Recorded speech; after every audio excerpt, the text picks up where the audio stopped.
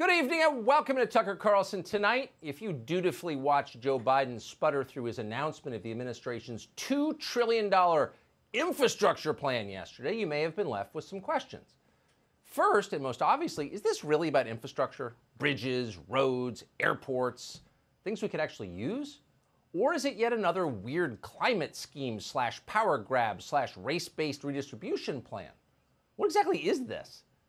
And by the way, $2 trillion sounds like a lot for anything. Won't that kind of spending cause hyperinflation? If you print money like it's not worth anything, doesn't the value of that money decline? Normal people may have had questions like those, but thankfully, the New York Times was on the scene to quell all doubt. The New York Times approached Joe Biden's plan with the enthusiasm of Izvestia, applauding yet another record Soviet potato harvest. Quote, Biden plan stresses jobs, roads, and growth. Read one of the New York Times' four separate front page headlines this morning. Two trillion for once in a generation fix of infrastructure, read another headline. That's real. Ron Klain, the tech lobbyist turned White House chief of staff, was so grateful for the backup from the Times that he tweeted out the front page this morning. America, let's go win the future, Klain wrote. Let's go win the future, America. What does that future look like? Well, let's be clear from the outset that this plan, whatever its merits, will not make your commute easier. Only about 5% of that 2 trillion will actually go to roads and bridges. So 5% on infrastructure, 95% on social engineering. That's what Joe Biden calls a once in a lifetime infrastructure bill. And he's right about part of it. It is once in a lifetime. If this bill passes, the next generation will live in a very different country.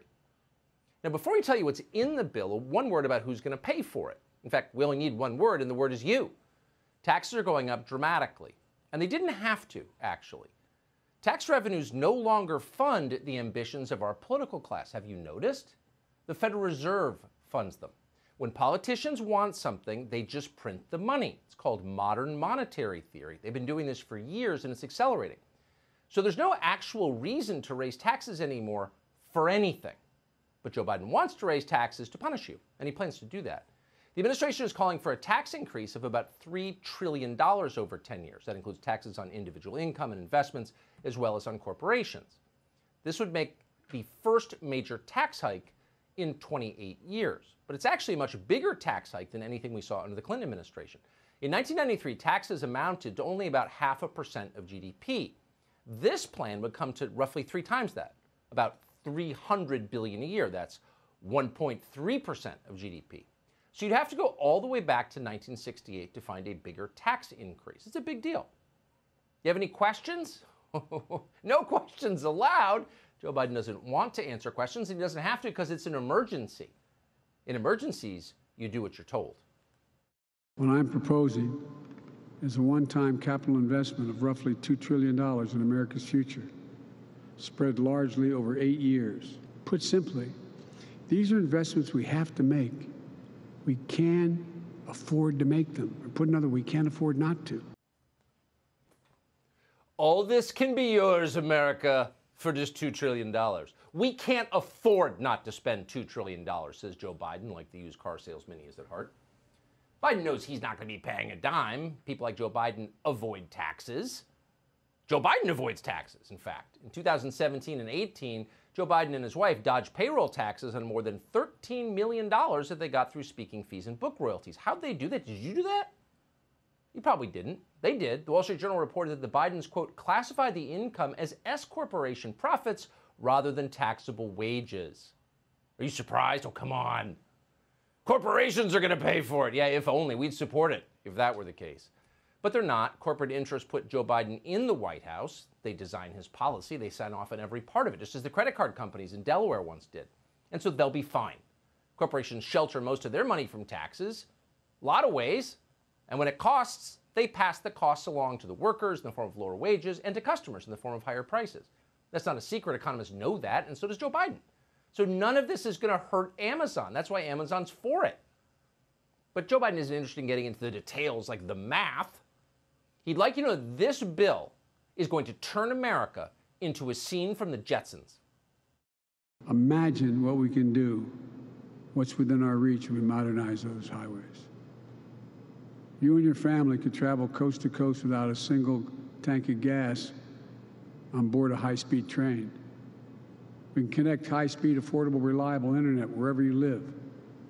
Imagine knowing that you are handing your children and grandchildren a country that will lead the world in producing clean energy technology and will need to address one of the biggest threats of our time. That's what we'll do.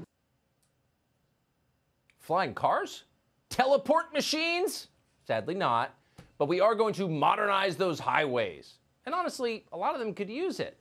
But what does modernizing highways mean exactly? What are the details in that? Well, the Washington Post gave us some idea. According to the paper, an activist called Amy Stelly has been demanding the removal, not the building, the removal of a highway in New Orleans that cuts through her neighborhood.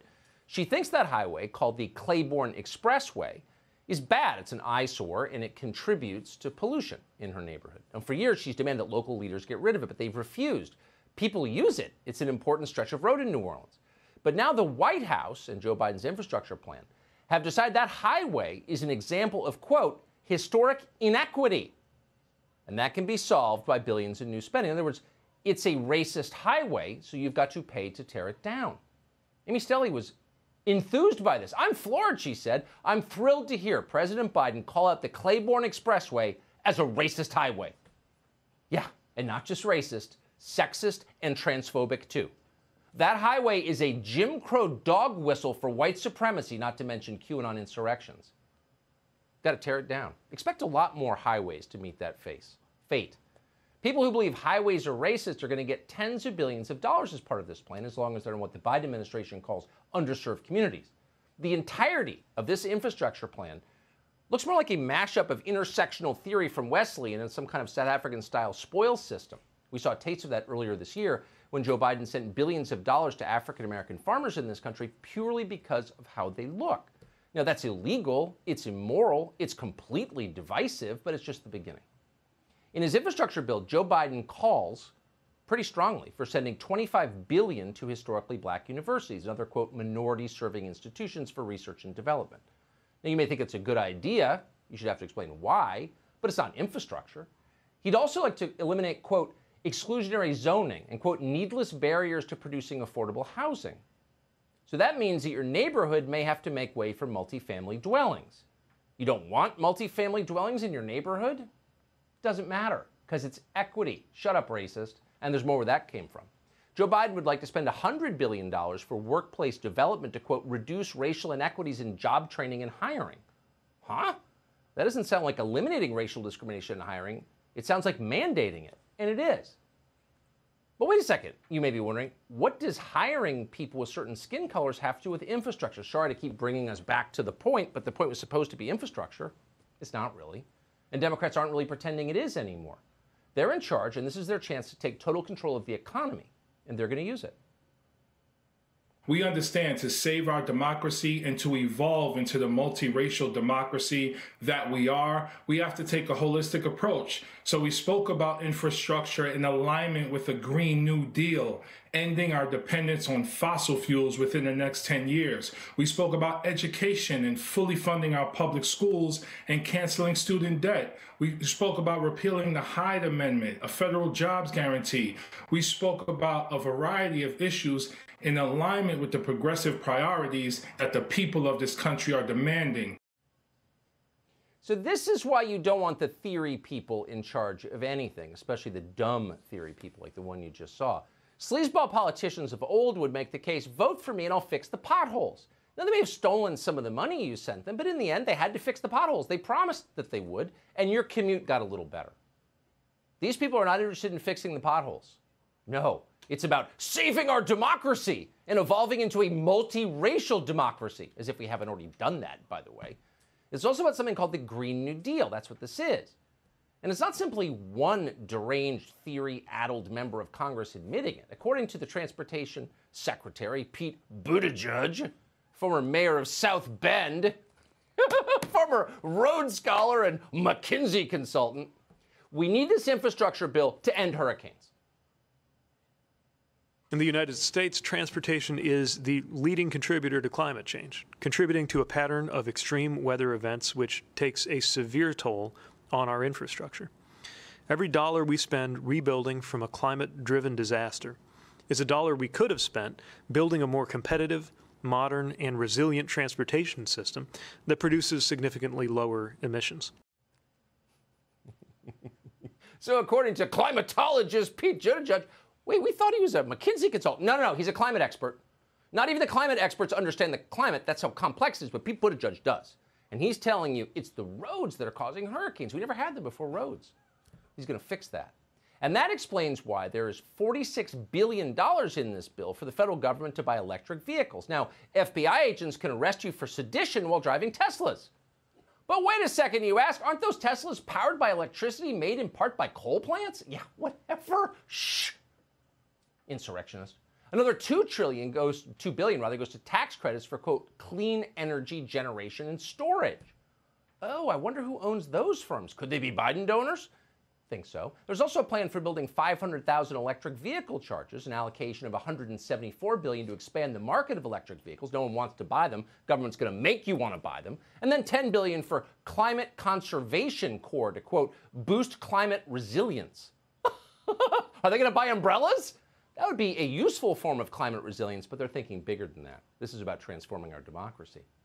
You'll notice that none of this spending goes to our oil workers just put out of business when Biden canceled the Keystone XL pipeline. They can learn to code. So, according to people who are really running the Democratic Party, though, none of this goes far enough. it's just not enough. Two trillion is not enough. We've the Keystone workers. We're spending $2 trillion, but we need to go farther. According to Sandy Cortez, pampered scion of Westchester, we need to spend a lot more money very quickly or you're racist. I have real concerns that 2.2 trillion isn't actually going to get us there. Um, so we're going to have to make deeper investments. We are in a devastating economic moment. Millions of people in the United States are unemployed. We have a truly crippled healthcare system and a planetary crisis on our hands and we're the wealthiest nation in the history of the world. So we can do 10 trillion. Ooh, another math lecture from Sandy. 10 trillion, 10 trillion dollars. Okay, Sandy Cortez. You've added a lot to our country. You built this country, didn't you?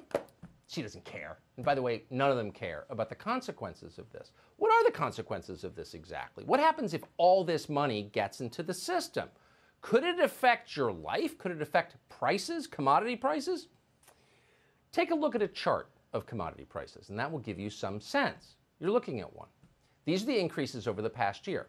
And the government injected trillions of dollars into the economy. And what happened? The cost of almost every durable good, the things that you need to live, went way up. The price of lumber, we might need that going forward, Jump more than 250%. Crude oil went up 188%. Sugar, 50%. Copper and tin up by more than 80% each. Cattle, meaning meat, wheat, meaning wheat thins, and so on a lot more expensive to live here. That's fine if you're Joe Biden or Sandy Cortez. Not fine if you're you. The cost to buy a home jumped by 11%. According to the UN Food Price Index, the cost of food has reached its highest level in seven years. In other words, just by spending a lot of money they didn't make, the people in charge are making it much harder for most Americans to live here. That's the cost of inflation. It's a tax and it's insidious and it's impossible to control once it starts. Meanwhile, the most powerful people in the country have never been happier. The cost of apartments in San Francisco has gone way down. The Dow Jones is up by 50%. Private equity is booming. Crypto investors are seeing huge returns. Some of them have so much money they are making up things to buy. Like, what else do you do with the money? They're investing in something called non fungible tokens, NFTs, which are literally useless digital tokens. The Nyan Cat meme, which you're seeing on your screen, just sold for $590,000 in NFT format. Now, it's not the art that was sold, it was the useless digital token. This is the tulip craze, if there ever was one. And these are the people benefiting from another $2 trillion in spending. And by the way, those taxes increases will not offset all of this spending. Joe Biden plans to tax what economists call savers which don't bounce around as much in the economy. Taxing savers is not an effective way to curb inflation because the money isn't affecting as many transactions. It's punitive. But the party in charge doesn't care about doesn't care about inflation. They don't care if it's harder for you to get gasoline or buy dinner. They're just upset that you feel entitled to drive your vehicle to work on their roads.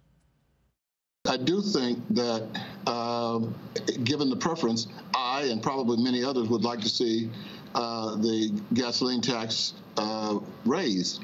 Uh, as you know, uh, that has been talked about for decades. And unfortunately, Americans have become so accustomed to low ga- gas prices. And even though I would challenge anybody, if they go leave wherever they are right now, looking at this at your show, to go out and ask 10 people how much they pay in, in uh, federal gasoline taxes, they can't tell you. Uh, they won't be able to tell you until a number is put out there when somebody says we're going to raise the taxes in order to, to, to pay our infrastructure costs or the rebuilding of our infrastructure. And then all of a sudden somebody will start waging a war. Yeah. So the real problem with America is gas prices are too low. So people who don't live in cities, people who drive for a living, just aren't paying enough. That's the problem. And those ungrateful Americans don't even know it. What's going on here? Trillions of dollars changing hands. This is looting. Just as their supporters in Minneapolis last summer, the Biden people are looting the country. They have done nothing to build America. Not one thing. Susan Rice, Barack Obama, Ron Klain, the rest of these people making these decisions have not created a single thing. They are not creators, they are takers, and they've gotten rich from doing it. How much did Susan Rice make in the last four years? How'd she get that money? They're just stripping the course, corpse. And when it falls apart, they'll be gone.